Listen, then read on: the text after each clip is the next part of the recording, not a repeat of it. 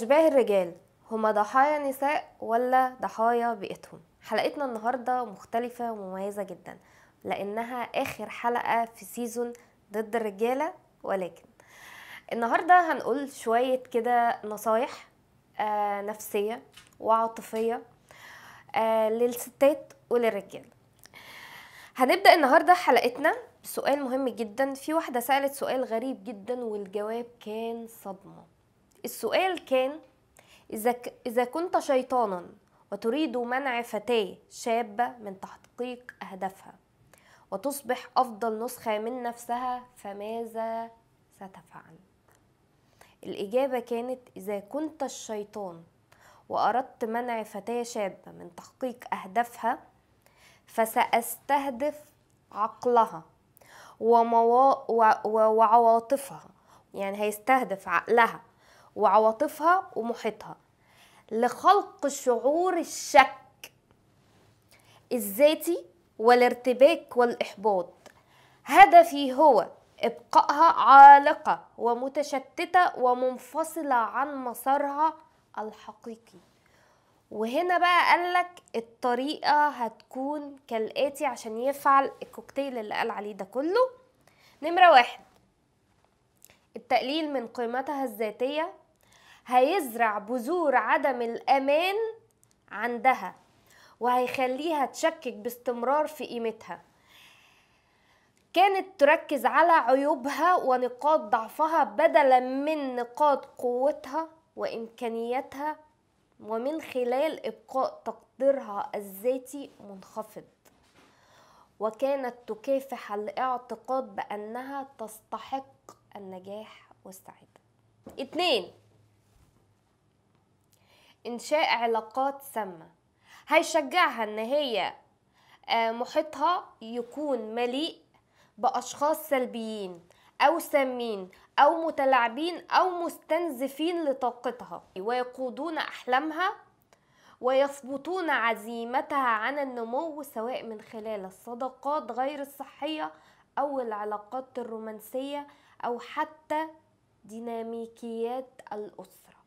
فإن هؤلاء الأشخاص سيمنعونها من التركيز على أهدافها. ثلاثة تغذية الخوف من الفشل.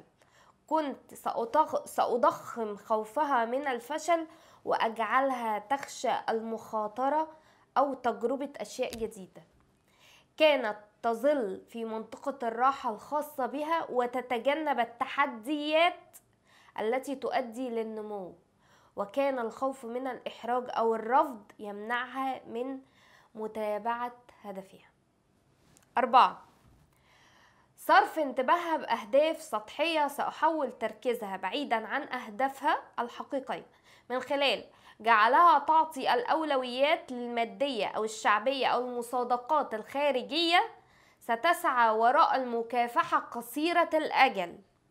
المال أو المكانة أو المظهر مع إهمال تطورها الداخلي وهدفها طويل الأجل. خمسة غرس عقلية الضحية. هيشجع جواها الشعور بإنها دايما ضحية وإن الحياة دايما بتحدث لها وليس من أجلها. من خلال إقناعها بأنها عاجزة عن مواجهة ظروفها. وهيمنعها من السيطرة على مصيرها. ستلقى باللوم على العوامل الخارجية بدل من رؤية القوة التي تمتلكها داخل نفسها لتغيير حياتها. ستة إنشاء مقارنات مستمرة. دايما هلاقيها أو هحطها في موضع إن هي تحط مقارنات بينها وبين نفسها مع الآخرين فستشعر بالنقص والغيرة من إنجازاتهم. ستصبح وسائل التواصل الاجتماعي أداة للنقد الذاتي حيث تعتقد أن الجميع أفضل منها وهذا من شأنه أن يضعف دافعيتها ويجعلها تشعر بأنها غير كافية ابدا. 8 والأخيرة تثبيط الشفاء العاطفي. سأجعلها تتجنب معالجة جروحها العاطفية أو صدماتها الماضية وأقنعها بأن الشفاء غير ضروري ومؤلم للغاية. ومن خلال عدم شفائها سأضمن أن الجروح القديمة والألم غير المحلول سيستمران في إعاقتها وتخريب علاقتها وقراراتها المستقبلية. دول الثمان نقاط اللي أي شخص ممكن يلعب عليهم عشان يقلل من تقديرك لذاتك ويعرقل خطواتك للنجاح طويل الأجل. فدي رسالة لكل واحد فينا.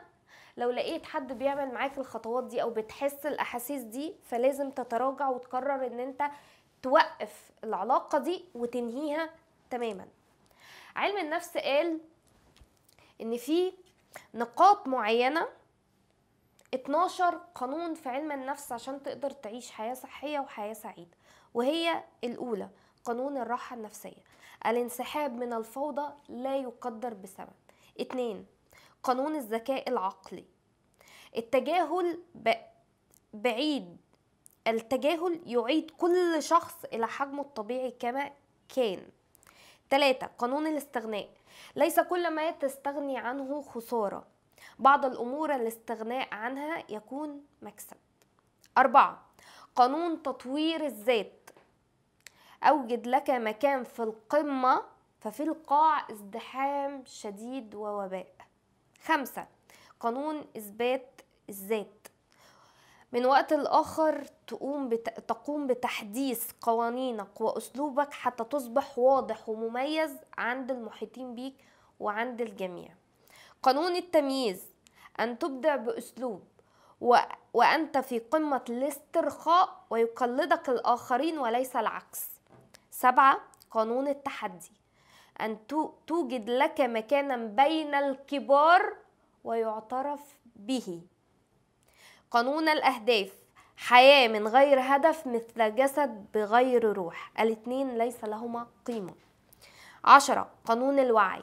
إن لم تدرك أخطائك فلن تتعلم الصواب. 11 قانون التعلم. إن لم تتألم لن تتعلم. 12 قانون التغيير إن لم تتغير فأنت تخسر حياتك.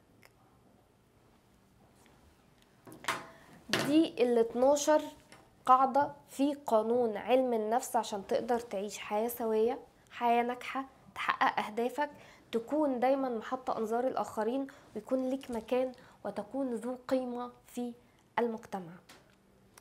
آخر حاجة هنقولها معانا النهاردة شذرات العلاقة. لما تكون في علاقة راجل وست في علاقة مع بعض أو أي علاقة أيا كانت لازم تاخدي بالك من شوية حاجات كده هنقولها لك دلوقتي اللي هي شذرات العلاقة الشذر اللي, بيط... الشذر اللي بيطلع من العلاقة. واحد مفيش راجل بيكون عايز ست في متناول كل رجل ولا ست بتحترم الراجل المتاح لكل النساء. اتنين ستصل إلى العمر الذي يمكنك فيه بسهولة معرفة أن العلاقة لن تنجح بمجرد المحادثة. يعني العلاقة ما بتنجحش بالكلام العلاقة بتنجح بالأفعال.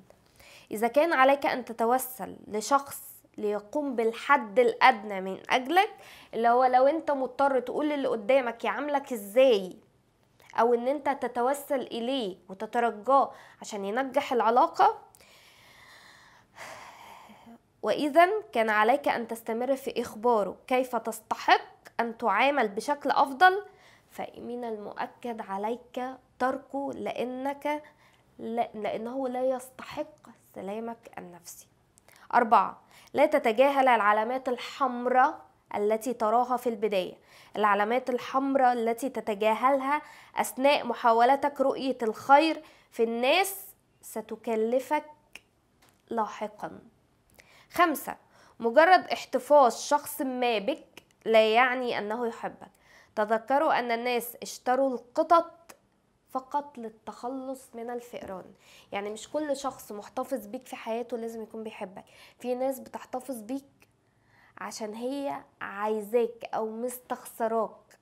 مش خايفة تخسرك هي مستخسراك إن أنت تروح لحد تاني فده اسمه حب التملك مش إن هي بتحبك. إذا كان الجنس هو كل ما يهمك في العلاقة فهذا يعني أنك فارغ من الداخل بالفعل. العلاقة الصحية تدور حول الهدف تبادل الرؤية والقيم معا وليس الجنس. سبعة في الحياة. عليك أن تتعلم التوقف عن عن فتح الأبواب للأشخاص السامين في حياتك. ومسح ومنحهم مساحة من عقلك أنت تؤخر عملية الشفاء. كل ما تدي فرصة للأشخاص السامين إن هم يدخلوا حياتك وتفتح لهم الباب فأنت بتأخر شفائك من الماضي. تجنب المتضررين والتعساء وسيء سيء الحظ. يعني حاول في علاقاتك بالمحيطين بيك الناس اللي حظها وحش والناس التعيسة والناس اللي دايما عندهم ضرر نتجنبهم لأن هم مش هيقودوك للنجاح. الغضب يفتح الفم وليس العقل.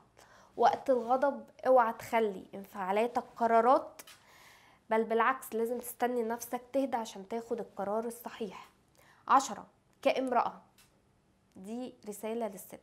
افهمي أن الرجال سيقولون ويفعلون أي شيء من أجل العلاقة الجنسية.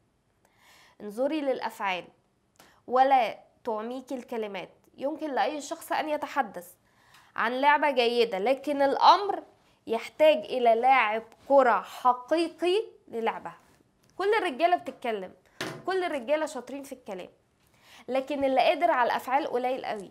العلاقة عاملة زي الملعب. محتاجة لاعب كورة محترف عشان يقدر يلعب اللعبة صح ويلعب لعبة حلوة. وصلنا لنهاية حلقتنا. أه حابة أشكر في النهاية شركة أه Story Board اللي كانت بتنتج هذا العمل الجميل. حابة أشكر أه فريق عمل شركة Story Board.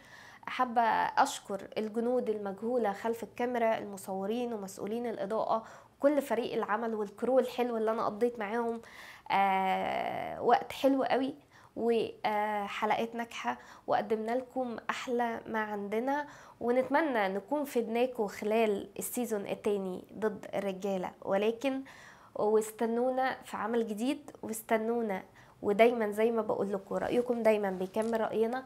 لو عندكم أفكار جديدة حابين إن إحنا نعملها كبرامج نفيد نفيدكم بيها ونستفيد اكتبوا لنا في الكومنتات. وما تنسوش تكتبوا لنا آرائكم عن ال season الأولاني ضد الرجالة وال season الثاني ضد الرجالة. ولكن ونتمنى نكون كنا خفيفين القلب والروح عليكم. حبوا بعض وساعدوا بعض وخليكم سند وخليكم دايما داعمين وخليكم دايما البسمة اللي بترسموها على شفايف المحيطين بيكم. هستناكم في برنامج جديد وكنت معاكم دينا أبو العلا ضد الرجالة ولكن.